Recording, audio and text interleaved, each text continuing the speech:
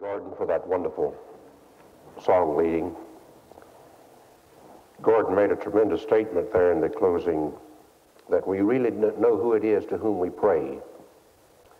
That God is not some oblong blur and not just a gooey feeling and not just your higher nature. I hope you know that. You aren't praying to yourself. This isn't a do it yourself kit. Uh, we're really praying to someone, and his name is Jesus. Something else that I found to be very helpful when we pray, and that's to know who we are.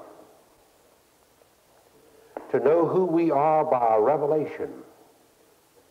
It makes all the difference in the world because uh, this will, your idea concerning yourself, your understanding concerning yourself, will help determine your whole approach to God when you pray.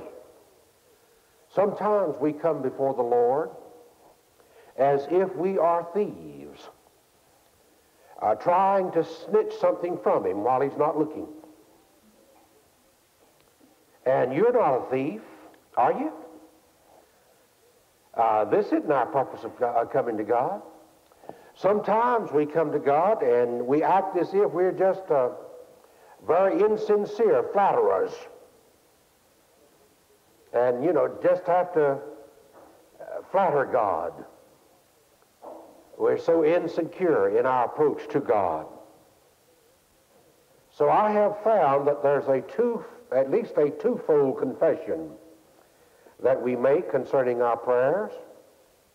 One is we confess who He is before the altar of man as we pray outwardly, but we confess who we are before the inward altar. When you come to the altar of your own heart, that abiding place of the Almighty within you, and you knock on the door of heaven from within.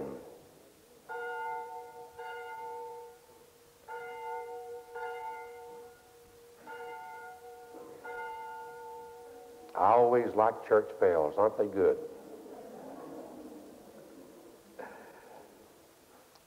Who is it that's really coming to do business with God in here? And how do you know? So I've, I, I go to the Word of God. I don't take Frances' idea concerning who I am uh, when she's not feeling good. I don't take my own idea about who I am because I have sometimes inflated ideas, and are they ever more inflated at times? Uh, but sometimes I have inferior ideas. I really am not a sound judge of who I am. I take the revelation of God's Word concerning who I am. I want to know the truth as revealed by God. And who does He say I am? Well, what are, what are some of the revelations that God makes concerning you. He calls you beloved, doesn't he? That's a word he has for you. You knock on the door on the inside. Who is it? Lord, this is one of your beloved. You see what a difference it makes? I'm beloved of God. You are, aren't you? You know that, don't you? That's right. uh, thank you for saying that. You know, I'm really asking you. so I'm beloved of God. Another word that he uses to describe us is an heir. Not hair, air. Hair's a plate. uh, but an heir, heir of God. A joint heir with Jesus Christ. So that's, that's a wonderful phrase. A joint heir with Jesus. Now, uh, Joe Kimball has three daughters. Let's say Joe had an estate of $300,000. And in this estate, she said to the girls, uh, You're my heirs, and I want you each to share equally. Then, with that kind of estate, they'd each get $100,000. But let's say Joe said to the girls, Girls, we have an estate of $300,000, and I want you to be joint heirs. Do you know they wouldn't divide the estate? Joint heirs don't divide the estate. Joint heirs share equally in the undivided whole. Now, somebody ought to say, Glory. you, know, you are a joint heir of God, a joint heir with Jesus Christ. This, this means that he doesn't go around parceling a little bit out to you and say, have a bite. You know, that all that he is, this is why the Word of God teaches it, all things are yours. All things. For you are Christ, and Christ is God's. We share equally in the undivided whole. Who are you when you pray? An heir of God one who inherits everything God has. Now, if this is true, where do you draw a line and say, I'll not ask for this? I was with a prayer group one day, and uh, yeah, we were just uh, praying for as as we were led, and this really wasn't a CFO, though it could have been. And uh, there was a little lady sitting across the circle from me, and uh, just a wonderful saint, a pillar of the church. And I saw that she really had a uh, real need, you know. She, in fact, I, I saw she was in pain. And I asked her, and she said, Yes, I have a splitting headache. And I said, Well, don't you want us to pray for you? She said, I don't want to be selfish. Let's just pray for the whole world. And I said, You unbeliever. Aren't you something? You believe God is so great that he can take care of the whole world, but it would be a burden for him to take care of a little headache. It's amazing, you know, how we get all kinds of hang-ups and feel like we're being selfish to ask and expect God to take care of our needs. Really, you are honoring God when you learn to appropriate the provision of his grace. Uh, supper's ready, children. Come on in. Nobody comes. Didn't you children hear me? Supper's ready. Come on in. Well, Mama, we're so unworthy.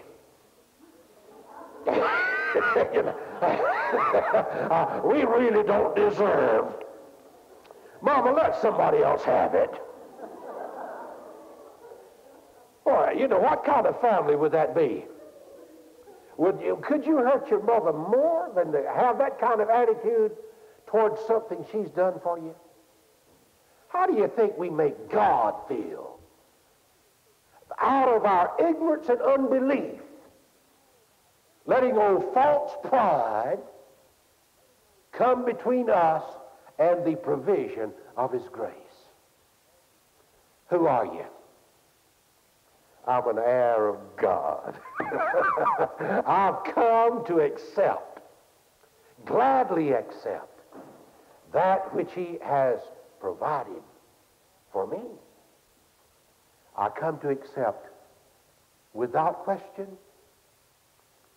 and without unbelief. Who are you? You getting the point? Who are you? Say it, say it out loud. an heir of God. Well, how about uh, a temple of God? How's that for you? A temple of the Spirit of God, not a shack.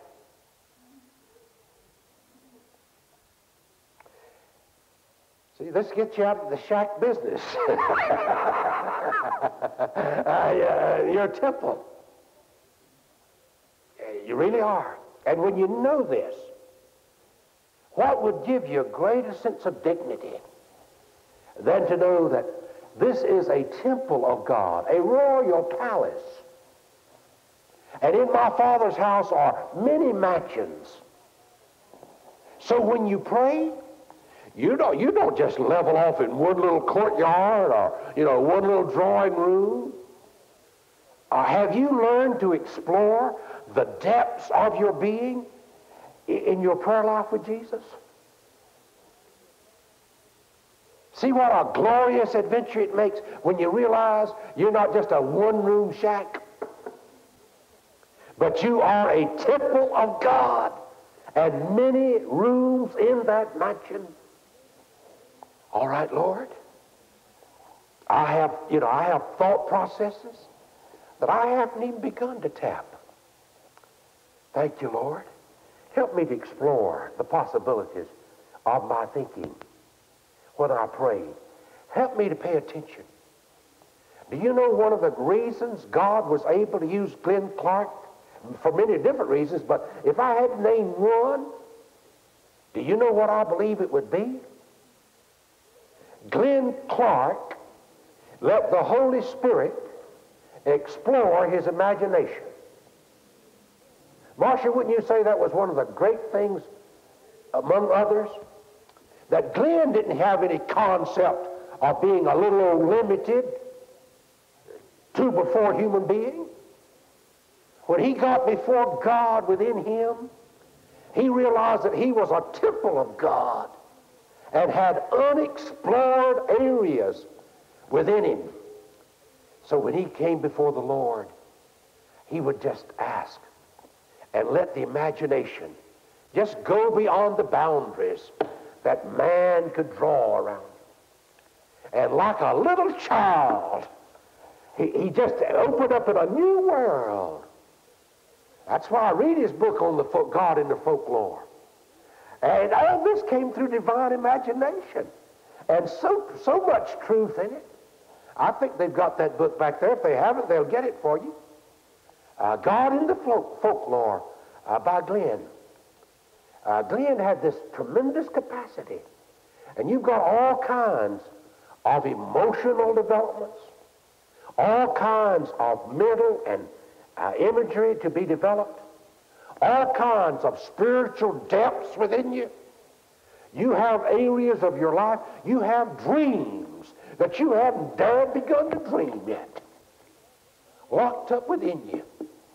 Now, sometimes it's disturbing for the Holy Spirit to open up a new area within you. It makes you feel a little insecure because there are no maps drawn for this territory. And you get out on a big sea with no map. uh, Billy and I had a map. but even if we hadn't had a map the other day, uh, we wouldn't have felt quite as secure as we did. But uh, we knew the Lord was in it anyhow. But here's all this glorious realm. My body, my mind, my spirit, as a, a palace of God, a temple. You see what a, a thrilling thing this, this makes? When you pray, who are you? I'm beloved of God. I'm an heir of his promise. I'm a temple a palace, a royal house for the Spirit of God. Who are you?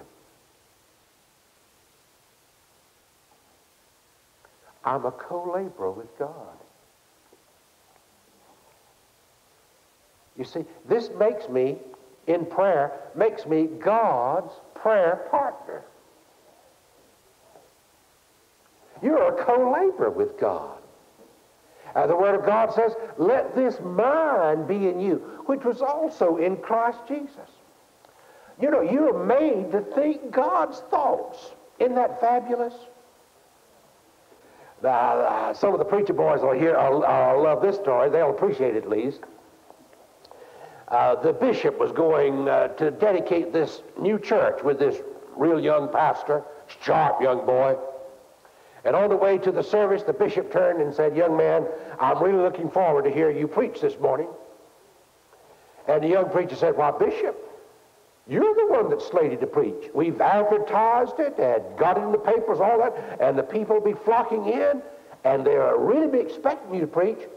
And besides, Bishop, I didn't prepare a sermon. I don't have a note with me.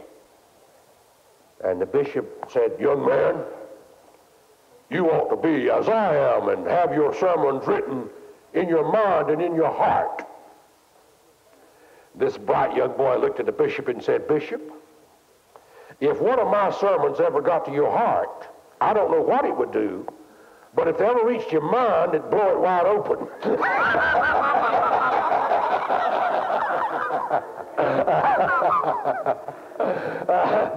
well, the young people talk about blowing your mind. Uh, we need to have some of that old mind fractured, you know. Uh, we need to have it blasted. And few things blast the thought concepts as does the mind of Christ. For instance, so often in prayer, we, we're so busy telling the Lord how, what we think and how we feel about somebody. Trying, you know, really trying to influence God with our little old thinking and with our little feeling. It's amazing, isn't it? And really what it boils down to is, God, now that you know the real insight on him, fix him up so I can stand him. But what about if you realized in praying for me, you could have God's thoughts concerning Tommy?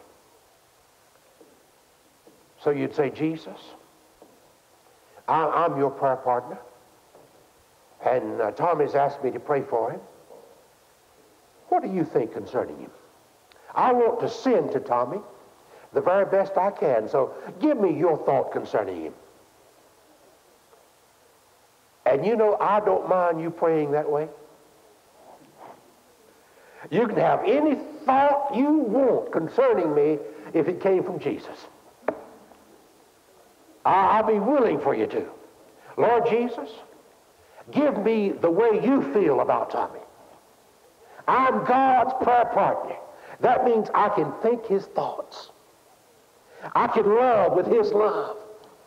I can transmit with his power. I'm his partner. So it's not so much praying to God as it is praying with God. Look how that revolutionizes your whole prayer life. So you're sitting, you know, in a quiet time. And as you sit, all of a sudden, here comes Gordon Benning. You know, in, in your thought. Well, I used to say, you know, Gordon, get out of the way now. I'm, I'm being quiet. You know? And I'd try to push everything everybody out because I was having my little vertical relationship, you know. Uh, so now I've discovered I come in before the Lord.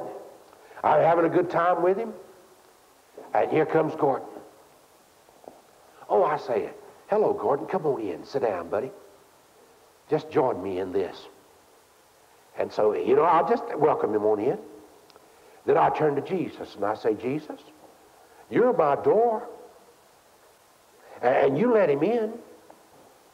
Is there any special reason why Gordon came to me this morning? And it may be, yeah, Gordon uh, has not felt that he's been appreciated lately. His family has been down on him a little bit.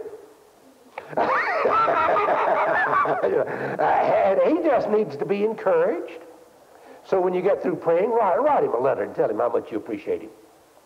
You know? Uh, or it may be, no, I just wanted him to receive some love, so I just brought him in to love him a bit. So I just say, all right, Gordon, just sharing this with him. And it's just beautiful They need to be quiet and silent with you, or else you can get a message concerning them. Let me just share one experience and we'll close with this. I was over in Portland, Oregon, oh, back in the wintertime, and I was having a, a day before I, I started with the church there, and I took a room in the hotel, and in that morning, I was just having a quiet time this way, just sharing with the Lord and letting Him share with me. Well, first, there trotted in my mind a fellow named Horace Gandy. Now, Horace told me I could tell this story. Both these people, I don't, I don't call names if the people don't tell me I can tell the story, though there's nothing wrong with the story. But Horace Gandy is a rural mail carrier in Honey Grove, Texas. Uh, and he's just as sweet as the name of his town implies. Well, Horace just came to my mind, and I said, Lord Jesus, is there any particular word for Horace? And I knew that somewhere I had heard that Horace's mother had passed away. This was on a Monday morning.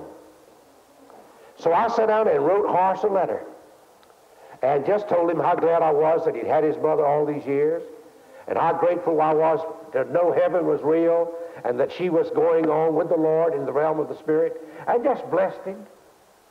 And I mailed the letter on Monday morning. He got it Tuesday morning, about 10 o'clock. His mother passed away about 6 o'clock Tuesday morning.